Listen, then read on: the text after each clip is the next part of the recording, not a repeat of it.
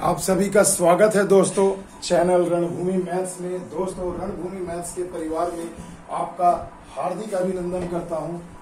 दोस्तों, आज का जो ये टॉपिक है, जो वीडियो मैं बना रहा हूँ, वो बहुत ही बेहतरीन टॉपिक से है, क्योंकि दोस्तों, इससे आरआरबी और एसएससी के लगभग हर परीक्षा में इस टाइप का क्वेश्चन पूछा जा रहा है दोस्तों।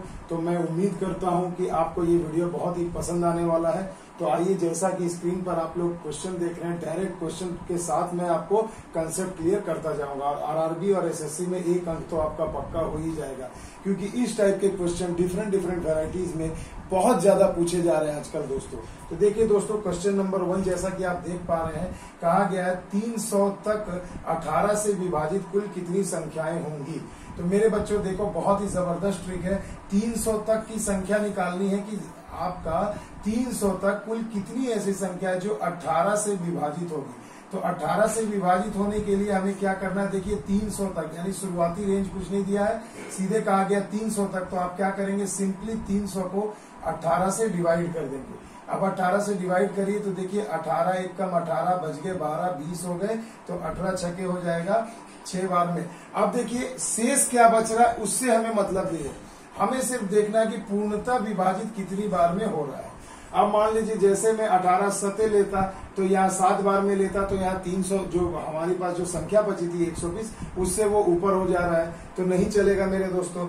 इसलिए हमने क्या लिया? 18 छके लिया 108 अब देखिए दोस्तों तो अब फिर से इस बच गया। तो अब 18 से ये भाग नहीं जाएगा। तो हमें क्या करना है? बस यही जो पूर्णता विभाजित होने वाली जो हमें भागफल जो मिला है, यही हमारा जवाब हो जाएगा। यानी 300 तक 18 से विभाजित होने वाली कुल कितनी ऐसी संख्याएँ हैं दोस्तों? तो हमारा जवाब हो जाएगा 16 एकदम वीडियो को शुरू से अंत तक देखना मेरे बच्चों, बहुत ही ज़बरदस्त होने वाला आज का वीडियो। एकदम बेसिक से आपको हाई लेवल तक के क्वेश्चन तक पहुंचाऊँगा दोस्तों। तो उम्मीद करता हूँ आप सभी इसे भरपूर प्यार देंगे। तो आइए दोस्तों क्वेश्चन नंबर टू स्क्रीन पर है, आपके सामने कहा गया है कि 500 से 1000 तक में 9 से विभाजित होने वाली कुल कितनी संख्या है? तो मेरे बच्चों, बहुत ही ज़बरदस्त कंसेप्ट है, याद रखिए। देखिए मैं कैसे इसे सॉल्व करता हूँ। तो हमें दिया गया है 500 हमने यहाँ 500 लिख दिया। और कहाँ तक दिया है? 1000 तक। यानी एक हज़ार भी नहीं होगा। 1000 तक। यानी कि मेरे बच्चों, एक हज़ार तक, यानी थाउज़ेंड तक। इनके बीच में नहीं कहा गया। यानी हजारवा संख्या भी होगा। हज़ार वाली भी जो संख्या आई है, एक हज़ार, इसे भी हमें काउंट करना है। तो इतने कंफ्यूजन से बचने के लिए मैंने एक ज़बरदस्त आपको ट्रिक बताना चाहता हूँ, मेरे बच्चों, इसे ध्यान से देखिए। देखिए मेरे बच्चों, जब भी क्वेश्चन में तक रहेगा, याद रखिएगा, एक हज़ार तक। तो आपको क्या करना है मेरे बच्चों, एक हज़ार तक कहा जाएगा तो आप पहले वाली संख्या में से एक माइनस कर दीजिए। गई बात समझ में, बस आपको और कुछ भी ज़रूरत नहीं है, किसी भी ट्रिक या किसी भी और कंसेप्ट की। देखिए 500 से एक हज़ार तक में नौ से विभाजित होने वाली कुल कितनी संख्या है? तो हमने लिखा पहले 500 और आखिरी लिमिट लिखा 1500 से 1000 तक। तक जब रहेगा दोस्तों तो पहले वाली संख्या में एक घटा देना है। बस अब इसे आप ध्यान रखिए, इसे कितने से डिवाइड करना है? नाइन से, और इसे भी कितने से डिवाइड करना है? नाइन से, दोनों का अंतर निकाल दीजिए। पूर्ण भागफल का अंतर निकाल दीजिए, बस वही आपका जवाब हो जाएगा।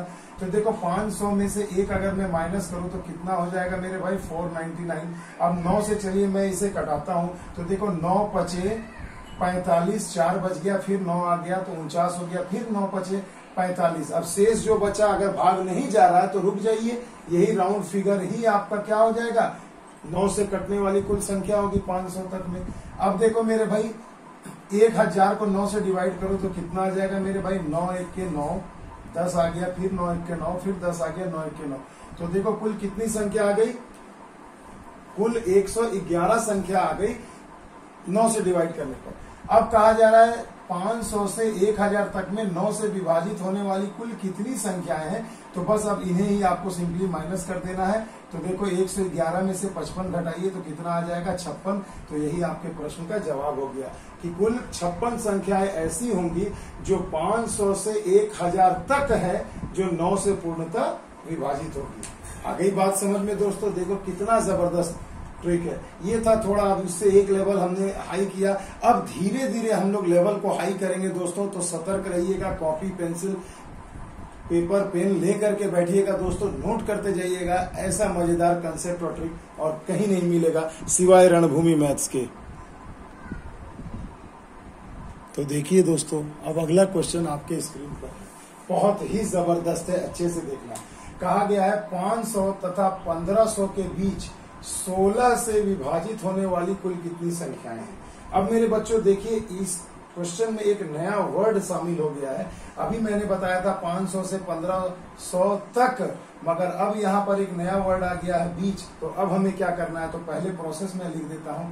पहले आप लिखिए छोटी संख्या 500 और आखिरी लिमिट लिखिए 1500 और जब बीच कहेगा ना दोस्तों, याद रखना, जब बीच कहा जाएगा तो आपको आखिर वाले संख्या में से एक घटा देना है। क्योंकि ये 1500 तो होगा नहीं, क्योंकि इनके बीच में, यानी 500 से 1500 के बीच में, यानी 1500 तक हमें नहीं जाना, उससे पहले।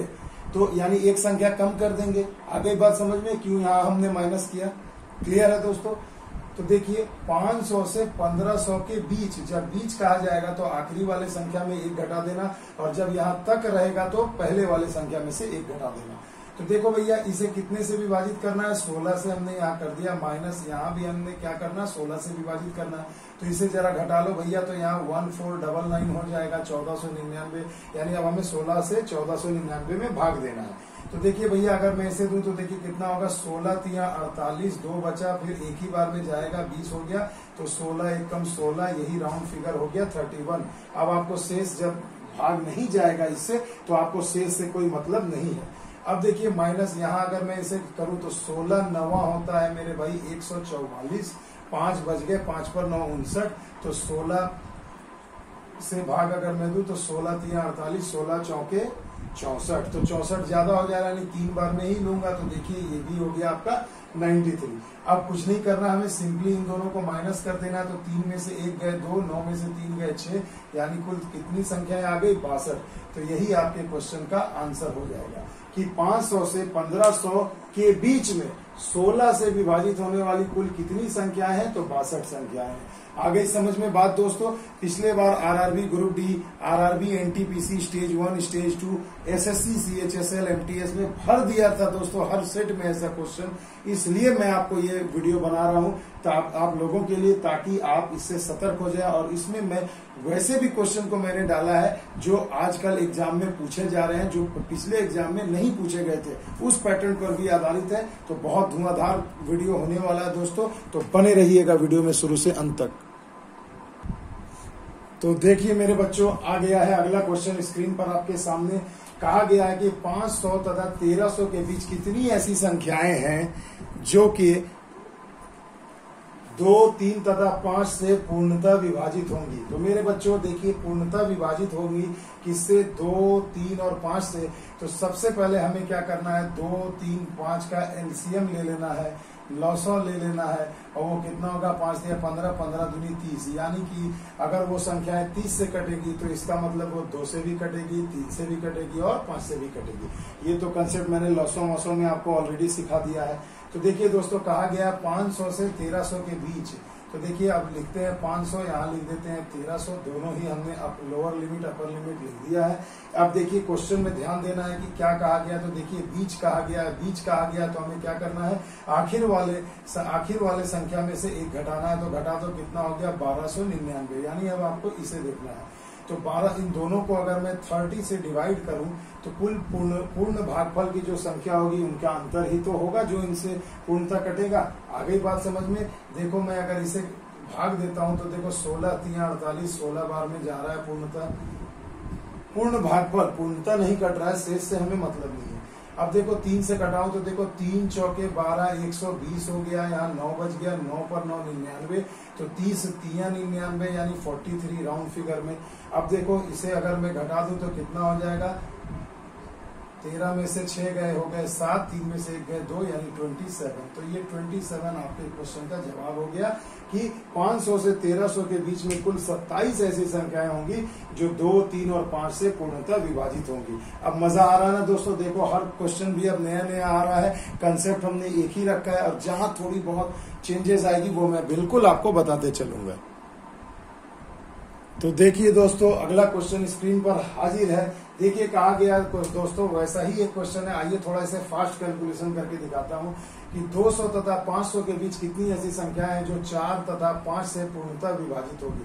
तो फिर देखिए, यहाँ पर कह दिया गया है, क्या दोस्तों, बीच में तो बीच यानी आखिर वाले संख्या से एक घटाना है तो देखो, हमने यहाँ लिख दिया 200 यहाँ लिख दिया 500 चार और पाँच से कटने का मतलब है चार पंचे बीस से कटना। तो भैया, दोनों को हमने बीस से डिवाइड भी कर दिया, मगर देखो, बीच कहा गया तो हमने यहाँ एक माइनस कर दिया तो यहाँ पर अभी से कटाइए दोस्तों, देखिए ये कट गया कितने बार में गया? दस बार में यहाँ हो गया फोर नाइनटी नाइन माइनस करने पर। अब आप इसे कटाइए। तो देखिए दोस्तों, कितना हो जाएगा? बीस गुना चालीस हो गया। नौ बचा फिर यहाँ निन्यानवे। तो बीस चौके अस्सी, बीस पच्चीस सौ, यानी बीस चौके अस्सी, यानी चार बार में ही जाएगा। अब देखिए चौबीस में से दस घटा दीजिए, कितना हो जाएगा? चौदह। तो देखिए यही आपके क्वेश्चन का जवाब हो गया। देखिए कितना फास्ट कैलकुलेशन एकदम एग्ज़ाम में इससे भी तेज गति से आप बना सकते हैं दोस्तों, ऐसे क्वेश्चन को। तो देखिए दोस्तों, अब ज़बरदस्त क्वेश्चन है आपके सामने एकदम स्क्रीन पर। बिल्कुल नए तरीके का क्वेश्चन जो पिछले बार भी पूछा गया था और अब अब तो बिल्कुल आपको हर एग्ज़ाम में ऐसा ही क्वेश्चन मिलेगा। देखिए, कहा गया 200 तथा 300 के बीच, देखिए बीच कहा गया है 200 तथा 300 के बीच कितनी ऐसी संख्याएँ हैं जो पाँच से पूर्णता विभाजित नहीं होंगी। देखिए दोस्तों, अब आपसे ये नहीं पूछा जा रहा कितनी पाँच से पूर्णतः विभाजित होगी। अब आपसे इसका उल्टा क्वेश्चन पूछा जा रहा कि इतनी ऐसी संख्या होंगी जो पाँच से विभाजित नहीं होगी। तो मेरे बच्चों, नहीं होगी। अब हम लोग क्या करेंगे? अब हम लोग इसे कैसे बनाएँगे? तो आइए मैं आपको बताता हूँ। आप भूल जाइए कि नहीं होंगी। आप सिंपली निकालिए कि कितनी ऐसी संख्या होंगी जो पाँच से पूर्णतः विभाजित होगी। ये पहले हम लोग ये निकालते हैं, उसके बाद आगे का स्टेप मैं आपको समझाता हूँ। तो देखिए, नहीं को भूल जाइए। पहले देखिए 200 और ये 300 के बीच कहा गया, बीच कहा गया, यानी आखिर वाले में से एक घटा देना है और दोनों को किससे डिवाइड करना है? पाँच से। तो देखिए, हमने पाँच से डिवाइड कर दिया। अब आइए हम लोग निकाल लेते हैं। तो देखिए, ये हो गया पाँच चौके बीस, यानी चालीस हो गया यहाँ पर। और यहाँ जरा देखिए, टू नाइन हो जाएगा। तो पचे, पच्चीस, चार पर नौ, उनचास, फिर पाँच नवा पैंतालीस यानी फिफ्टी नाइन। तो कुल कितनी ऐसी संख्याएँ हो जाएँगी मेरे दोस्तों? यानी नाइनटीन। तो देखो, ये तो हमें पता चल गया कि 200 से 300 के बीच में कुल 19 ऐसी संख्याएँ हैं जो पाँच से पूर्णता विभाजित होगी। ध्यान से सुनिएगा मेरी बात को। 19 ऐसी संख्याएँ होंगी जो 200 तथा 300 के बीच में है जो पाँच से पूर्णतः विभाजित होगी। अभी तक तो विभाजित होगी हमने ऐसे ही निकाला है। मगर यहाँ क्वेश्चन में देखिए, थोड़ा नयापन आ गया है कि पूछा जा रहा है कि पूर्णतः विभाजित नहीं होगी तब ऐसी संख्याओं को निकालने के लिए एक ज़बरदस्त ट्रिक है। ध्यान दीजिएगा। सबसे पहले क्या करिए? जो दी गई संख्याएँ हैं, उनके बीच का अंतर आपको निकालना होगा कि 200 से 300 के बीच में कुल कितनी संख्या है? तो देखो भैया 200 से 300 को घटा दो, यानी हमें डिफरेंस निकालना है मेरे बच्चों, अंतर निकालना है। तो 200 में से 300 गया तो कितना हो गया? 100 अब मेरे बच्चों, ध्यान दीजिएगा, जब भी आपको बीच कहा जाए, क्या कहा जाए मेरे दोस्तों? बीच। तो बीच जब भी कहा जाएगा और नहीं वाला क्वेश्चन रहेगा तो आपको इसमें से एक और घटाना है। क्योंकि 200 से 300 के बीच बीच में कहा गया तीन सौवा वाला जो संख्या, वो आपको नहीं लेना है तो ऑलवेज आपको एक माइनस कर देना है। तो कब जब आपको बीच में कहा जाए, और जब आपको तक कहा जाएगा, तक कहा जाएगा तो आपको हंड्रेड, जो भी अंतर आएगा डिफरेंस में हमेशा आपको एक जोड़ देना है। आगे बात समझ के, समझ में आ गई? तो देखिए, हमने पहले यहाँ क्या किया? डिफरेंस निकाला। डिफरेंस हो गया 200 और 300 का डिफरेंस हो गया 100 और जब आपको बीच में कहा जाए तो आप याद रखिए डिफरेंस प्लस वन कर देना माइनस वन कर देना है। और जब आपको तक कहा जाए तो आपको क्या करना है? डिफरेंस प्लस वन कर देना है। आ गई बात समझ में? बस यही कंसेप्ट है दोस्तों। अब उड़ाते जाओ क्वेश्चन को। ऐसा कंसेप्ट आपको और कहीं नहीं मिलेगा। तो देखिए दोस्तों तो कहा गया है यहाँ पर 200 तथा 300 के बीच कितनी ऐसी संख्याएँ जो पाँच से पूर्णतः विभाजित नहीं होगी? तो हमने निकाला पहले कि 19 ऐसी संख्या होगी जो पाँच से पूर्णतः विभाजित होगी। अब आपको क्या करना है? बीच वाला क्वेश्चन कहा गया, बीच। तो आपको बीच वाला फॉर्मूला लगाना है, यानी डिफरेंस माइनस वन तो देखिए डिफरेंस कितना है भाई? हंड्रेड निकाला हमने तो हंड्रेड में से एक घटा दो, यानी नाइन्टी नाइन कुल ऐसी संख्या है जो कटेगी और जो नहीं भी कटेगी, यानी टोटल संख्या निन्यानवे, उसमें से कटने वाली संख्या को आप घटा दो, उन्नीस को तो जो बच जाएगा तो वही तो होगा ना जो नहीं कटेगा। मैं यहाँ लिख दे रहा हूँ, नहीं कटने वाली, नहीं कटने वाली। आगे बात समझ में? तो देखो 80 ऐसी संख्याएँ हो जाएँगी मेरे बच्चों, जो 200 और 300 के बीच में है और जो पाँच से पूर्णतः विभाजित नहीं होगी। आ गया कंसेप्ट क्लियर दोस्तों। तो चलिए, इसमें क्या बात है डरने की? इसमें अगर जिन बच्चों को नहीं समझ में आया चलो अगला क्वेश्चन कराता हूँ। उसमें तो समझ ही जाओगे। तो देखो मेरे बच्चों, धुआंधार क्वेश्चन आपके स्क्रीन पर। कहा गया है 100 से 300 तक, देखो ध्यान देना, तक, छह से न कटने वाली कुल कितनी संख्या है? या छह से नहीं विभाजित होने वाली कुल कितनी संख्या है? तो मेरे बच्चों, सबसे पहले मैंने अभी कंसेप्ट बताया, नहीं क्वेश्चन में दिया है, भूल जाओ उसे। पहले ये निकालो कि 600 6 से 100 तथा 300 तक कितनी संख्याएँ जो 6 से विभाजित होगी। तो सबसे पहले दोस्तों, आइए कंसेप्ट को लिख लेते हैं अपर लिमिट और लोअर लिमिट लोअर लिमिट और अपर लिमिट को सीमा लिख लीजिए, छह से डिवाइड कर दीजिए, बीच में माइनस का चिन्ह लगा दीजिए। अब देखिए, तक कहा गया है तो पहले वाले को माइनस करना है। अभी ना बात समझ में, ये तो आपको आपको यूज़ टू हो गया, याद हो गया होगा कंसेप्ट और जब बीच कहा जाएगा तो अंतिम वाले में एक घटा देना है। तो यहाँ देखो 99 हो गया तो छह से डिवाइड करो तो सोलह छह छियानवे, यानी सोलह बार में पूर्णता कटेगा। और यहाँ छह, पंचे तीस, और ये ज़ीरो, यानी पचास। तो अब मेरे बच्चों कितना आ गया? माइनस करो दोनों को तो जरा मैं दोनों को घटाऊं तो कितना हो जाएगा? थर्टी फोर हो जाएगा तीन। तीस, दस, चालीस और छह चार, दस, पचास। यानी चौंतीस ऐसी संख्याएँ होंगी सौ से तीन सौ के बीच में, जो छह से पूर्णता विभाजित होगी। पूर्णता विभाजित होगी मेरे बच्चों। अब मगर आपसे पूछा गया कि जो विभाजित नहीं होगी तो जब विभाजित नहीं होगी तो आइए पहले हम दोनों का डिफरेंस निकालते हैं। तो डिफरेंस कितना आ रहा है मेरे बच्चों? डिफरेंस आ रहा है तीन सौ में से सौ गया, यानी कि दो दो सौ।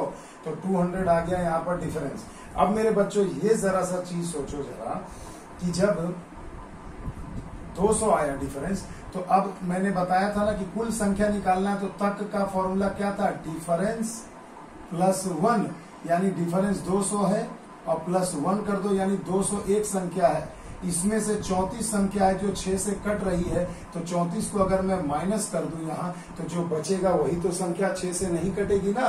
तो 11 में से चार गए सात, नौ में से तीन गए छह, एक। यानी एक सौ सड़सठ ऐसी संख्याएँ होंगी, एक सौ सड़सठ ऐसी संख्याएँ होंगी जो 100 तथा 300 के बीच में है और 6 से पूर्णतः विभाजित नहीं होगी। तो याद रखना, नहीं होगी, उसमें भी आपको पहले जितनी संख्याएँ होगी, विभाजित होंगी, वो निकालना है। फिर डिफरेंस निकाल करके ट्रिक देखना है कि तक कहा है तो ऐड कर दो एक, और अगर बीच कहा गया है तो डिफरेंस में एक घटा दो, और फिर इसको इससे घटा दो। आगे बात समझ में दोस्तों कंसेप्ट क्लियर है। आई होप आपको मज़ा आया होगा। आओ अब एक आखिरी में एक और टाइप का क्वेश्चन रह गया है, जो बिल्कुल परीक्षा में आजकल पूछा जा रहा है। हम लोग उसे भी देख लेते हैं।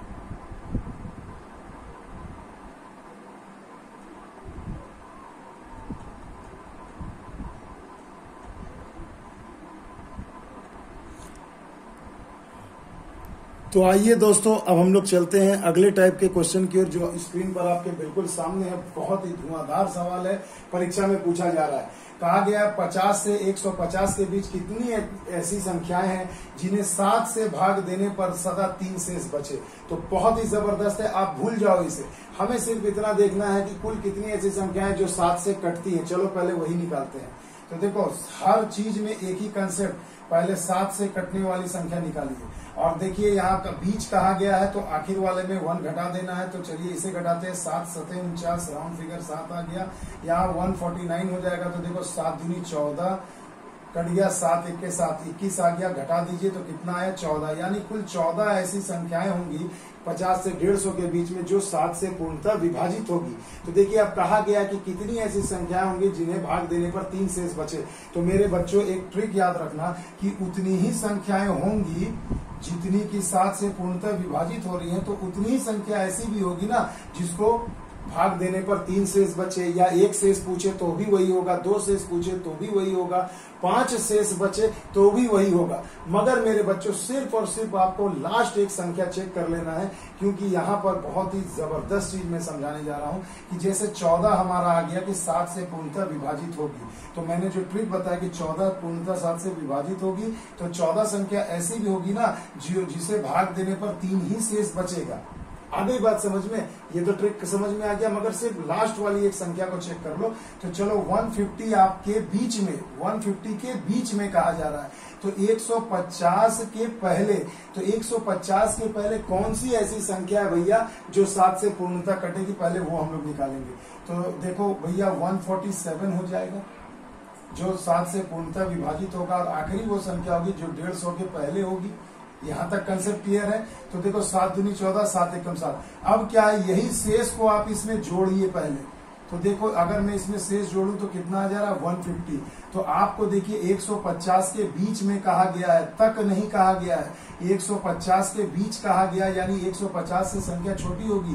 मगर लास्ट जो संख्या आपका, जो इसमें काउंट हुआ है, जो सात से पूर्णतः विभाजित हो रहा है, उसमें अगर आप शेष तीन जो बचना चाहिए, वो अगर मैं जोड़ू तो डेढ़ हो जा रहा है। यानी कि एक संख्या, यानी डेढ़ भी इसमें काउंट हो गया, मगर यहाँ आपको कहा गया डेढ़ के बीच। यानी कि मेरे बच्चों, क्या होगा? ये चौदह में से एक संख्या ऐसी होगी जो हमें घटानी पड़ेगी। तो आइए चौदह में से एक हम घटा देते हैं। तो कितना आ गया भैया? तेरह ऐसी संख्याएँ होंगी जो पचास से डेढ़ सौ के बीच में सात से विभाजित करने पर सदा तीन शेष दे। ये कंसेप्ट क्लियर है ना दोस्तों? तो आई होप आपको मज़ा आया होगा दोस्तों। आइए एक क्वेश्चन में आपको और दिखा देता हूँ। तो देखिए दोस्तों, बहुत ही ज़बरदस्त है। 100 से 200 के बीच 6 से भाग करने पर चार शेष देने वाली कुल कितनी संख्या है?